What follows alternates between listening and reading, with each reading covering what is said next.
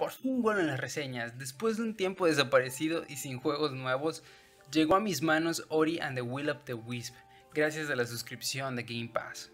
Hola gente, ¿qué tal? Yo soy Mike Sierra y en esta ocasión voy a hablarles de todo lo que pueden encontrar en la segunda entrega de Ori.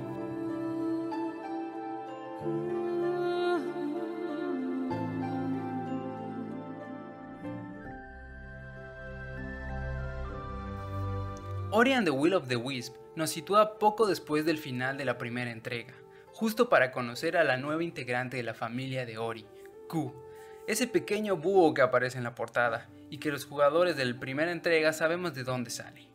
Por eso quiero recomendarles que si aún no juegan Ori and the Blind Forest, deben hacerlo, pues es un juego casi tan genial como este. Todo comienza cuando Ori y Q, en su primer vuelo, llegan a una nueva tierra y abruptamente son separados, quedando ambos varados en lo desconocido. Por lo que será deber de Ori el encontrar a la pequeña Q, llevándolo a vivir nuevas aventuras en este lugar desconocido y desolado. Al igual que en el videojuego anterior, la historia es simple y se cuenta a través de cinemáticas y pequeños diálogos, pero en esta ocasión hay ciertas diferencias en la narrativa debido a la inclusión de NPCs, que enriquecen mucho más el lore del universo de Ori y créanme que el final de esta hermosa e intrépida historia los conmoverá hasta las lágrimas. Pero lo que hace que realmente esta historia destaque y nos haga vivirla es el gameplay y sobre todo las nuevas mecánicas que han incluido. Ahora sí, entramos en materia. Ori and the Will of the Wisp es en esencia un juego de plataformas a lo Metroidvania. Ya saben, Mientras avanzas por la ruta te irás encontrando caminos inaccesibles, puertas cerradas y objetos ocultos, a los cuales solo tendrás acceso hasta haber encontrado la habilidad u objeto que te permite recorrerlos u obtenerlos, y cada vez se van sumando más y más habilidades, por lo que el juego se vuelve mucho más complejo.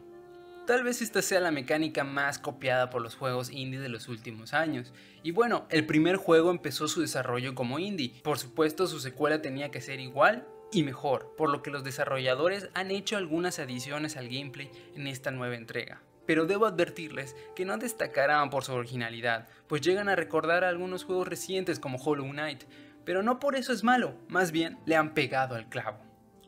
Claro está que lo que hizo grandioso el primer juego regresa y lo hace con esteroides, las plataformas son mucho más desafiantes, el diseño de niveles es más intrincado y el combate y enemigos han sido mejorados. Y es este uno de los rasgos que más han cambiado con respecto a la entrega pasada, pues ahora tenemos peleas cuerpo a cuerpo, cuando antes el combate era más a distancia gracias a la chispa espiritual que nos acompañaba y que ahora no está con nosotros, lo que agrega un nuevo nivel de dificultad.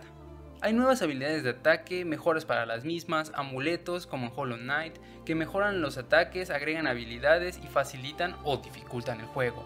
Y lo mejor que han podido agregar ha sido el combate contra jefes, ya que en muchos casos regresa la vieja mecánica de huir de enormes enemigos del juego pasado, pero ahora hay un combate real en el cual pasaremos muchas horas tratando de descubrir cómo vencer a los imponentes jefes combinando las plataformas del escenario, las habilidades y los ataques, y es que ahora habrá que hacer una buena gestión de todo esto.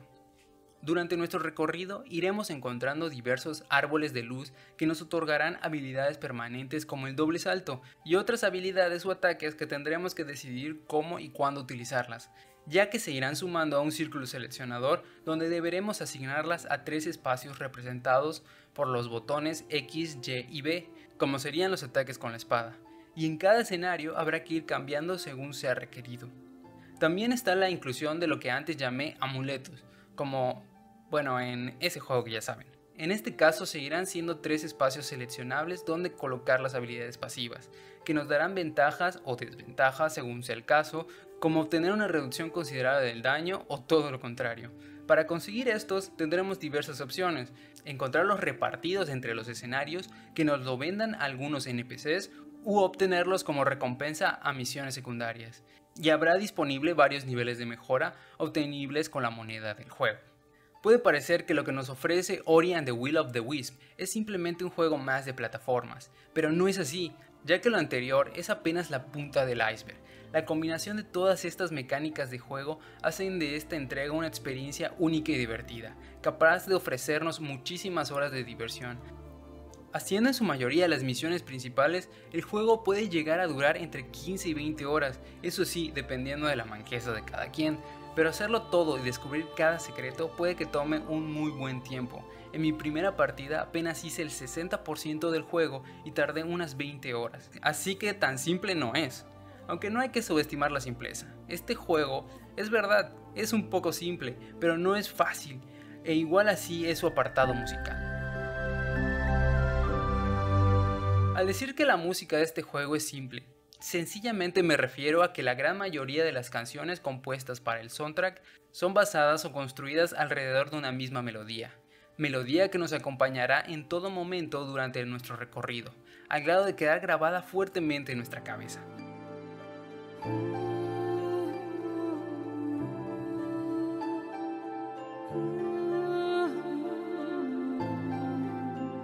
Esto no quiere decir que solo exista una sola canción en todo el juego, sino más bien la banda sonora está llena de diferentes composiciones que nos llevan de la mano para resaltar cada ambientación o sentimiento que el juego quiere reflejar, desde la tonada más tranquila para los recorridos sin enemigos hasta la más oscura y deprimente. Y claro, la música que acompaña a los duelos contra los jefes es uno de los factores que hará que jamás te fatigues por cada intento, sin importar lo prolongados que estos sean.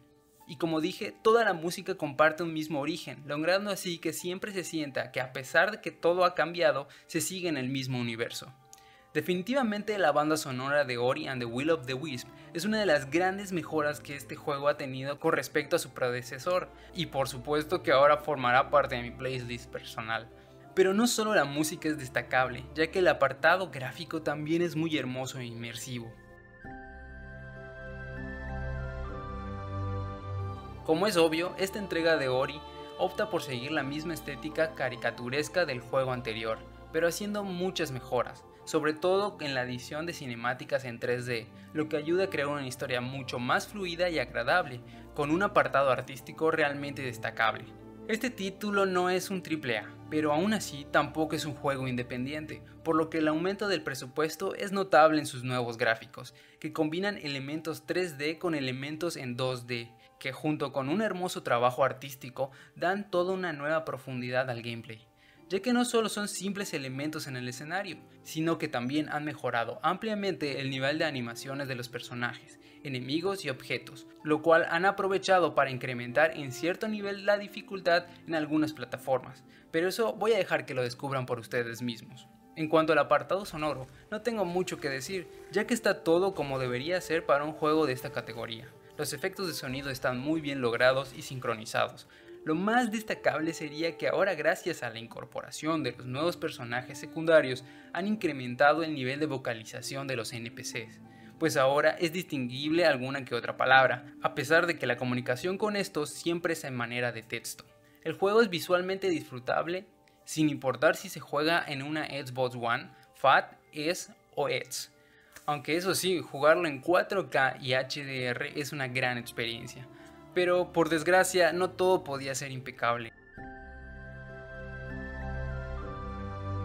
La buena noticia es que solo hay un error realmente destacable.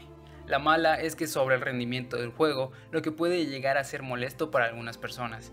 Y es que en muchas partes del juego, cuando se cambia de zona o se hace teletransporte, llegan a haber congelamientos de pantalla en la mayoría de los casos son tan solo de unos segundos, pero en raras ocasiones pueden llegar a durar bastante más.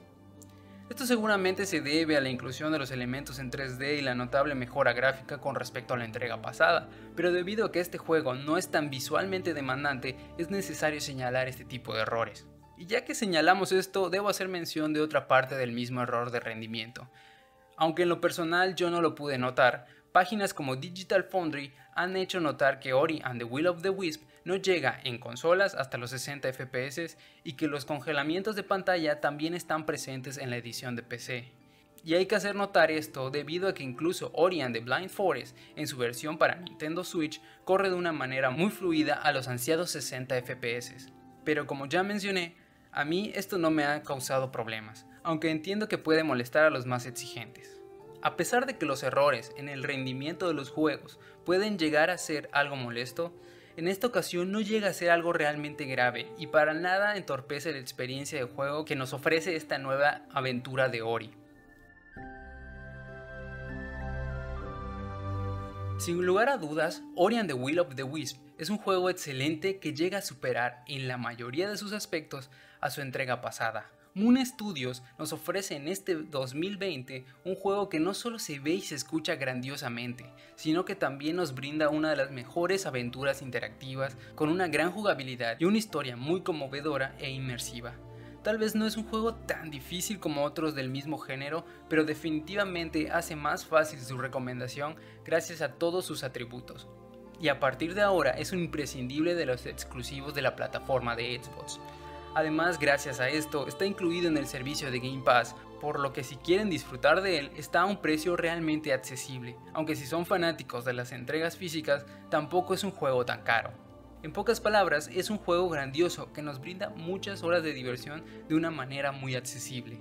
Y con los tiempos que corren ahora, eso es un gran atributo para que todo sea más llevadero. Si no fuera porque aún quedan muchos juegos por salir este año, me atrevería a decir que Ori the Will of the Wisp va a estar presente en los top 10 de varias personas, e incluso con un poco de suerte hasta llegar a obtener ciertas nominaciones a premios importantes. Y eso ha sido la reseña de Ori the Will of the Wisp. Tal vez me haya dejado algo por alto, por lo que agradecería que me lo pusieran en los comentarios allá abajo junto con su opinión del juego, y si pueden, de la misma reseña. El feedback siempre es algo bien recibido. Y si también quieren dejarme recomendaciones de juegos que quieren que reseñe, siempre estoy abierto a opciones. Sin más por el momento, les agradezco mucho que hayan llegado a esta parte del video y yo me despido. Nos vemos en el siguiente video. Adiós.